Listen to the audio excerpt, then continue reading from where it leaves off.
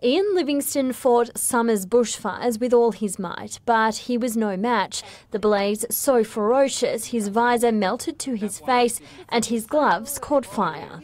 Red, black, ember filled winds came through, and the first one ignited the car, and the second one had a good go at igniting me and the house. He spent weeks in an induced coma in Concord Hospital, but almost five months on, with wounds that are still healing, Ian has returned to work rebuilding homes. We have got so much work.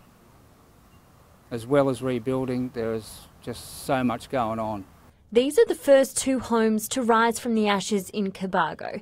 Owner and builder Andrew Hayden lost seven properties in the New Year's Eve blaze. He's worked from dawn to dusk ever since to rebuild, recover and put roofs back over his tenants' heads.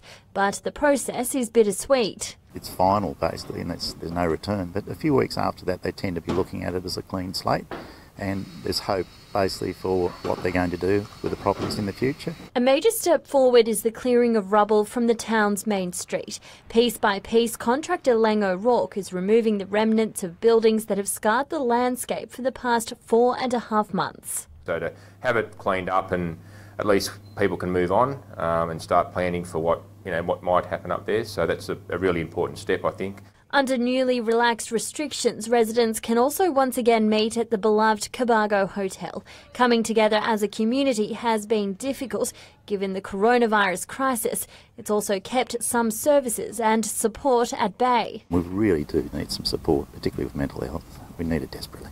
It's something the state government maintains it's acutely aware of. Our biggest issue and, and what keeps me up at night has always been uh, people are falling through the cracks, and with all best will, uh, we're trying to do everything. Under a new $8.5 million program, the Deputy Premier is promising all bushfire impacted families and individuals will be contacted to ensure they're accessing support available. For the people of Cobargo, how that program is delivered will be crucial, with the community crying out for more support face to face on the ground. We need to instill some hope in the people in the area that there is a solution.